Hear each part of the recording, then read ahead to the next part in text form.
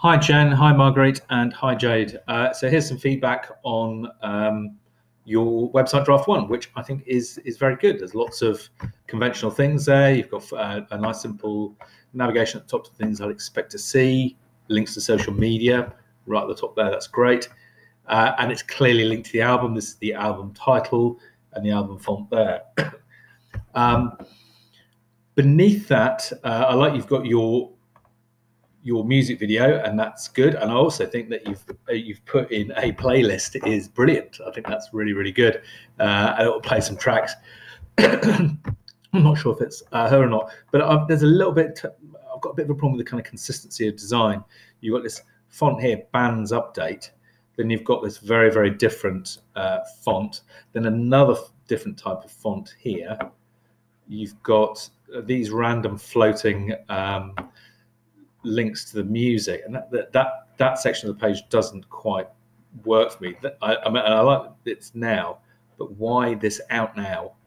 You know, why why not put some some links into um, listen on Spotify and and iTunes? Just make those a bit bigger. Get rid of that uh, completely. Uh, then you scroll down to this uh, just a mess tour and the tour poster there, which I think is great, and the just a mess is also in the same font lots and lots of great things here. Uh, and then off I go to the tour details, which takes me to your tour page, um, which is great. The Antarctic monkeys. Um, yeah, that's good. And links to uh, tickets there on the right. Uh, that's all good. Um, so cool, and different links there. The music page, uh, again, I really liked it, and I like your your. T- actually, this is my favorite typeface. Lose yourself. And I just thought maybe you could use this book more consistently in other pages, other parts of the website.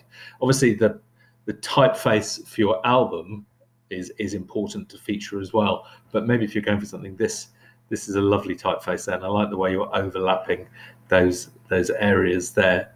Um, this bit doesn't work as well in terms of the font. I don't think. You, you know, you've changed font midway, you've changed color midway. Keep it consistent. And this is lovely font. This is working really well works great against the black background, but this red doesn't so much. Um, I like though that you've got um, the kind of release date and brilliant for for music uh, aficionados. They can pre-order their vinyl and CD, but then you've got a bunch of black space underneath. You know, get rid of that black space if you can. Merch page I liked. Um, that looked very very different, and I like the way I can scroll through the different hoodies. I, I like the way you've uh, personalized those. That's absolutely brilliant.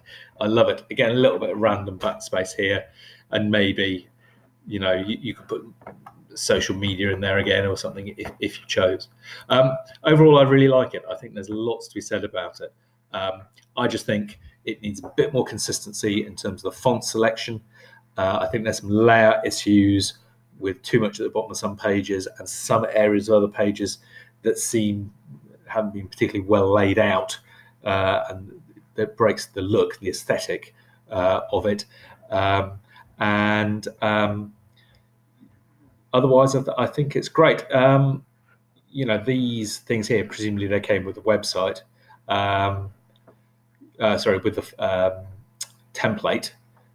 Um, I'm not sure if a mailing list is the thing to do. So, I mean, I like. Uh, there's lots of things I like about it. Okay, but please, if you could get it tidied up and, and finished off for Friday, that'd be great.